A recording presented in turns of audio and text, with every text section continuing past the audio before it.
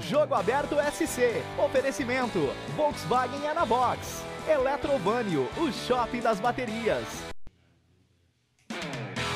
Boa tarde, boa quinta-feira. Jogo Aberto SC começando e o moleque travesso aprontou no Orlando Scarpelli.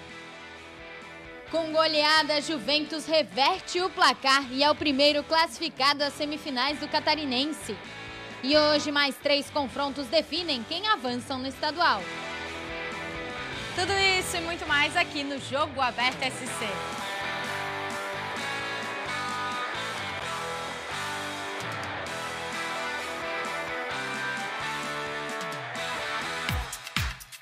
O primeiro classificado às semifinais do Campeonato Catarinense foi definido. O moleque travesso aprontou no Orlando Scarpelli e surpreendeu. Após 20 dias sem futebol em Santa Catarina, a bola voltou a rolar. Sem torcida, é claro, e já com decisão.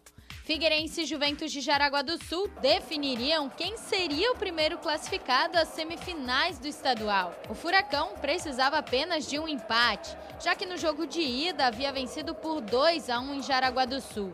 Mas o moleque travesso atrapalhou os planos alvinegros. E Tinga abriu o placar na noite desta quarta-feira.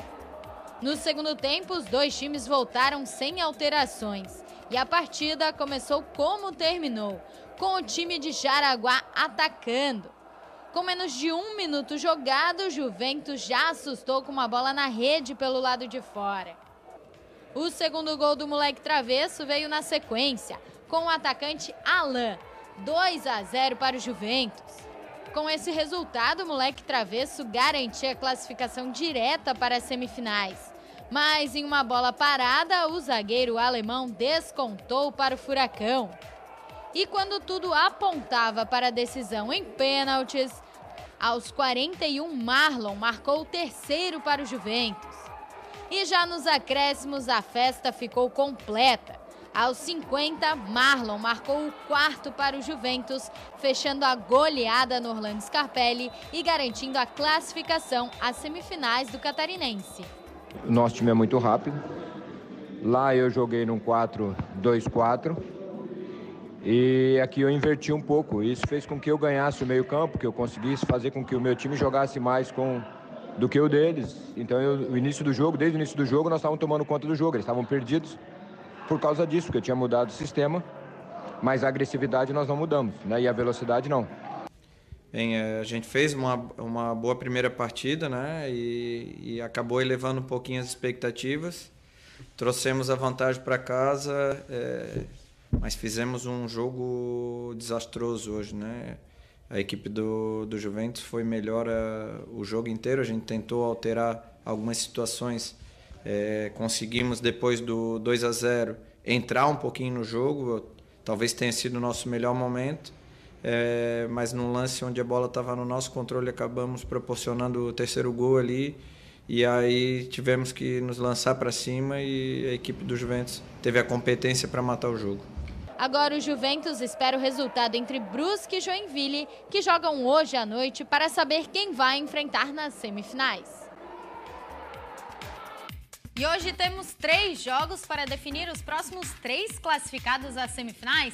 Às 4 horas da tarde, tem Marcílio Dias e Criciúma lá em Itajaí, às 4 horas da tarde. Um pouquinho mais tarde, às 6 horas da tarde, tem Brusque e Joinville no estádio Augusto Bauer. E fechando a rodada dos jogos de volta das quartas de final, às 8 horas da noite, tem Havaí e Chapecoense na ressacada.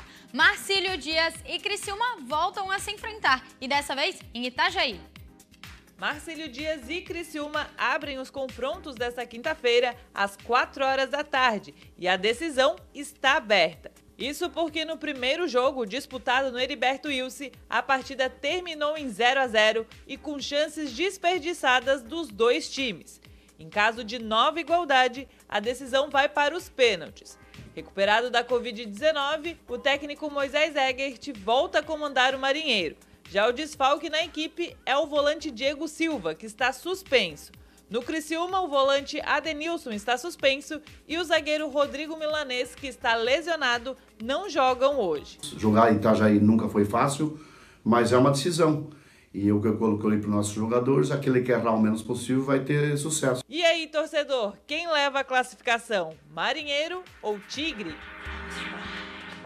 A gente vai para um rápido intervalo, mas no próximo bloco a gente fala dos outros dois confrontos de hoje. Eu já volto.